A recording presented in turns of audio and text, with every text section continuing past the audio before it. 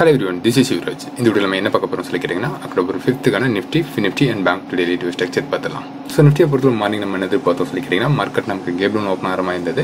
அந்த மாதிரி நமக்கு கேப்லூன் ஓப்பன் ஆச்சுன்னா நம்ம தாராளமாக கரெக்ஷன் எதிர்பார்க்கலாம்.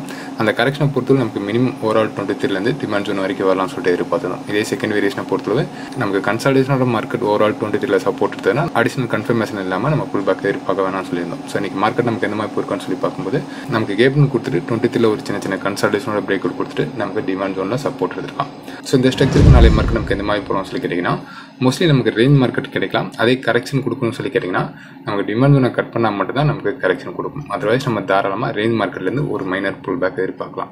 இந்த இடத்துல அடிஷ்னலாக நமக்கு குளோபல் மார்க்கெட்டில் எதுவும் ஈவெண்ட் இருக்கான்னு சொல்லி பார்க்கும்போது இன்னைக்கு யூஎஸ் மார்க்கெட்டை பொறுத்தல எஸ்என்பி குளோபல் காம்போசிட்டும் அதே மாதிரி சர்வீஸ் பிஎம் டேட்டாவும் இன்றைக்கி ஈவினிங் இருக்கான் ஸோ மோஸ்ட்லி அதுவும் நமக்கு வால்டிலிட்டி கொடுக்குறதுக்கான பாசிபிள்ஸ் இருக்கும். ஸோ இந்த இடத்துல நமக்கு ஈவெண்ட்டை பேஸ் பண்ணி மார்க்கெட் மூமெண்ட் கொடுக்குறதுக்கான பாசிபிள்ஸ் இருக்கும். இருந்தாலும் நம்ம ஸ்ட்ரக்சர் மட்டும் எந்த மாதிரி இருக்கான்னு சொல்லிட்டு பார்த்துலாம் ஸோ ஃபஸ்ட் ரீசனை பொறுத்தவரை நாளைய மார்க்கெட் நமக்கு என்ன மாதிரி போகலாம்னு சொல்லி கேட்டிங்கன்னா நியூட்ரல்லேருந்து கேபிள் ஓப்பன் ஆச்சுன்னா நமக்கு இன்றைக்கி ஃபார்ம் ஆன இந்த ஹையும் இன்னைக்கு ஃபார்ம் ஆன இந்த பாட்டமும் நல்ல ஒரு ரேஞ்சாக ரியாக்ட் ஆகும். நமக்கு டேரக்ஷனை பொறுத்தவரை ஒன்று நமக்கு பாடத்தை கட் பண்ணணும் இல்லாட்டி ப்ரீவியஸ் ஏயை கட் பண்ணால் மட்டும் தான் நமக்கு மூமெண்ட் கொடுக்கும். அதே நமக்கு ப்ரீவியஸ் கட் பண்ணாலும் எவ்வளோ தூரம் போகலாம்னு சொல்லி கேட்டிங்கன்னா நமக்கு மேஜர் ரீட்ரேஸ்மெண்ட் தேர்ட்டிட்டு இருக்கான் ஸோ தேர்ட்டிட்டுன்றது நல்ல ஒரு ரெசிடெண்டாக ரியாக்ட் ஆகும். ஸோ நான் ரீட்ரேஸ்மெண்ட் ட்ராப் பண்ணி காட்டுறேன்.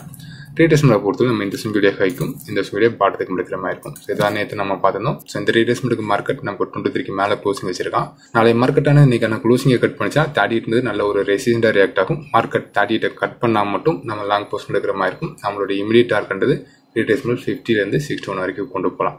இதுதான் நமக்கு ஃபர்ஸ்ட் ரீசன் ஸ்ட்ரக்சரை பொறுத்தளவு நமக்கு தேர்ட்டி எயிட்டை ரேஸ் பண்ணும்போது மோஸ்ட்லி ஒரு ரிஜெக்ஷன் கொடுக்கலாம்.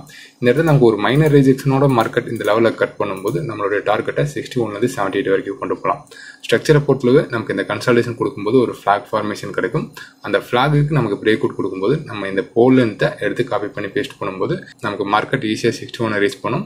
சிக்ஸ்டி ஒனை கட் பண்ணும்போது நம்ம தாராளமாக செவன்ட்டி எயிட் வரைக்கும் கொண்டு வரலாம். ஸோ அதுக்கான ஸ்ட்ரக்சர் வேணால் ட்ரா பண்ணி காட்டுறேன். ஸோ ஃப்ளாகை பொறுத்தளவு இந்த ராலியானது நமக்கு போலாகவும் வரக்கூடிய கன்சால்டேஷன் ஆனது நமக்கு ஃப்ளாகாகவும் இருக்கும். இந்த ஃப்ளாகுக்கு கன்சால்டேஷன் தொண்ணூறு மார்க்கெட் ரேட்டஸ் தேர்ட்டிட்ட கட் பண்ணும்போது நீங்கள் இந்த போல் லென்த்தை காப்பி பண்ணிவிட்டு ஃப்ளாகுடைய பாட்டத்தில் பேஸ்ட் பண்ணுங்கள் இந்த மாதிரி பேஸ்ட் பண்ணும்போது நமக்கு ஃப்ளாக்கான டார்கெட் கிடைக்கும்.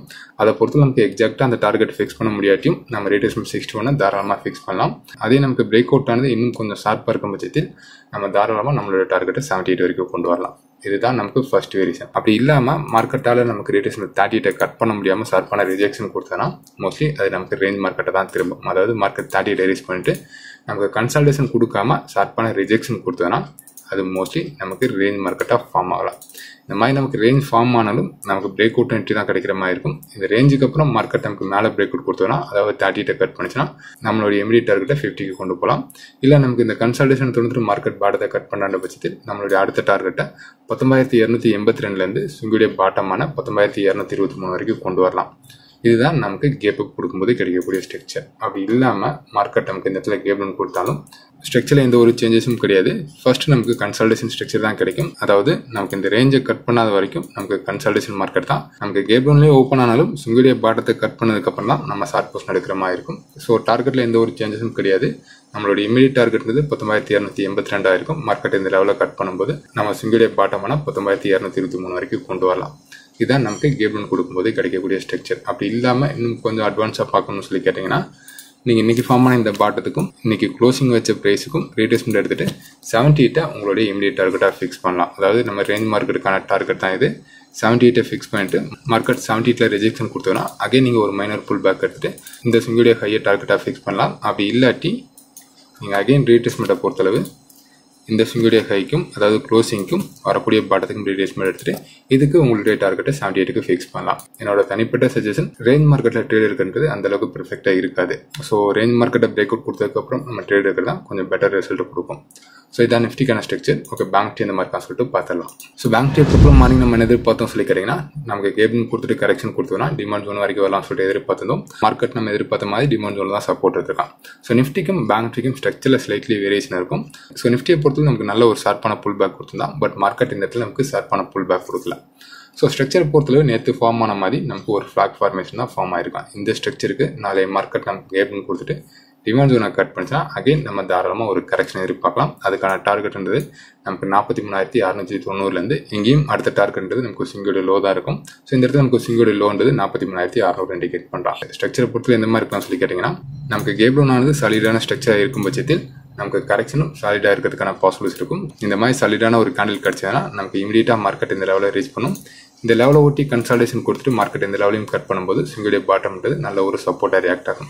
இல்லை மார்க்கெட் நமக்கு சிங்குடைய பாட்டத்தில் சப்போர்ட் எடுக்காமல் இமீடியட்டாக கட் பண்ணுற பட்சத்தில் நமக்கு ஓவரால் ரிட்ரேஸ்மெண்ட் தேர்ட்டி எயிட்டான நாற்பத்தி மூணாயிரத்தி நானூற்றி ஏழுன்றது நமக்கு அடுத்த டார்கெட்டாக இருக்கிறதுக்கான பாசிபிள்ஸ் இருக்கும். ஸோ இதான் நமக்கு கேப்டன் கொடுக்கும்போது கிடைக்கக்கூடிய ஸ்ட்ரக்சர் அப்படி இல்லாமல் நாளைய மார்க்கெட் நமக்கு கேப்டனே கொடுத்தாலும் டிமாண்ட் கட் பண்ண முடியாமல் அகைன் நமக்கு கன்சல்டேஷன் தொடர்ந்ததுன்னா மோஸ்ட்லி இந்த இடத்துல நமக்கு கீழே பிரேக் அவுட் கொடுக்குறதுக்கான பாசிபிலிட்டிஸ் இருக்காது. அந்த கன்சல்டேஷன் தொடர்ந்து இன்றைக்கி க்ளோசிங்கை கட் பண்ணிச்சுன்னா அடுத்த மூமெண்ட் ஆனது நமக்கு ஷார்ப்பான புல் பேக்காக இருக்கும்.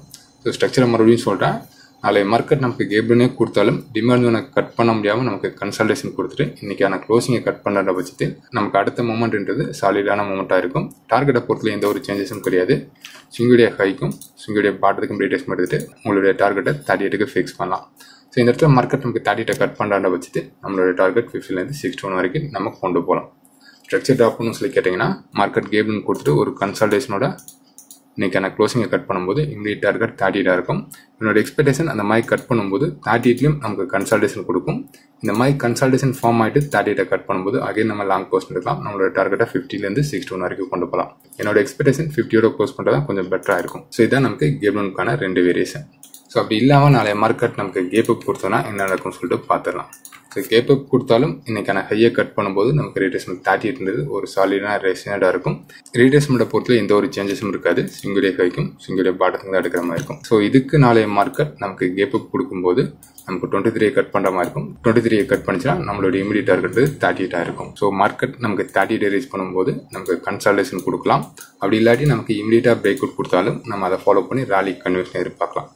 இதுதான் நமக்கு ப்ராப்பரான ஸ்ட்ரக்சர் பட் அப்படி இல்லாமல் மார்க்கெட் நமக்கு தேர்ட்டி ரீச் பண்ணும்போது சாலிடான ரிஜெக்ஷன் கொடுத்ததுன்னா மோஸ்ட்லி ரேஞ்ச் மார்க்கெட் ஃபார்ம் ஆகும். அந்த ரேஞ்சை தொடர்ந்து மார்க்கெட் ஸ்விங்கோட பாட்டத்தை கட் பண்ணிச்சுன்னா நமக்கு கரெக்ஷன் கன்ஃபியூஷன் இருக்கும் இல்லை அந்த ரேஞ்சை ஃபாலோ பண்ணி மார்க்கெட் நமக்கு தேர்ட்டிட்ட கட் பண்ணாத பட்சத்தில் நம்ம தாராளமாக அடுத்த டார்கெட்டை ஃபிஃப்டிலேருந்து சிக்ஸ்டி ஒன் வரைக்கும் கொண்டு போகலாம் இந்த இடத்துல நமக்கு தேர்ட்டி எட்டுன்றது ஒரு மேஜர் ரெசிடாக இருக்கும்.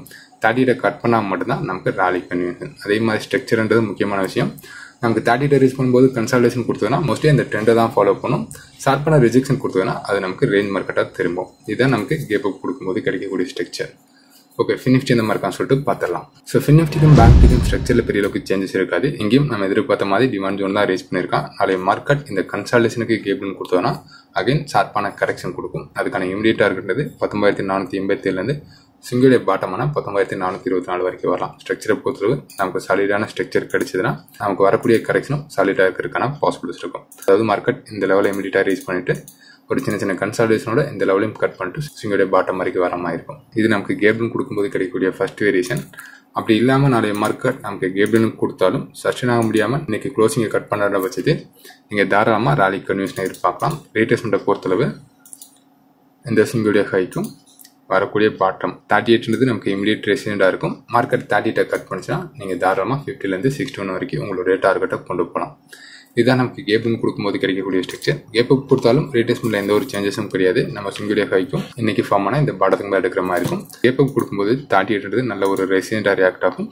மார்க்கெட் இமீடியட்டாக தேர்ட்டியில் கட் பண்ணாலும் சரி இல்லை கன்சல்டேஷனோட கட் பண்ணாலும் சரி நமக்கு அந்த ராலியானது கன்யூஸ் நடக்கிற மாதிரி தான் இருக்கும். அதாவது ஃபிஃப்டிலேருந்து சிக்ஸ்டி ஒன் வரைக்கும் போகிற மாதிரி இருக்கும். அப்படி இல்லாமல் மார்க்கெட்டால் தேர்ட்டிட்ட கட் பண்ண முடியாட்டி அதாவது தேர்ட்டிட்டை ரீஸ் பண்ணும்போது நமக்கு சர்ப்பான ரிஜெக்ஷன் கொடுத்தோன்னா நமக்கு ரேஞ்ச் மார்க்கெட்லேருந்து கரெக்ஷன் நடக்கிறதுக்கான பாசிபிலிட்டிஸ் இருக்கும். ஸோ இதான் நாளைய மார்க்கெட்டுக்கான ஸ்ட்ரக்சர் ஓகே இந்த வீடியோ டவுட் இருந்தால் கமெண்ட்ஸில் கமெண்ட் பண்ணுங்கள் வரக்கூடிய வீடியோக்கு வந்து பார்க்கலாம். Okay thank you friends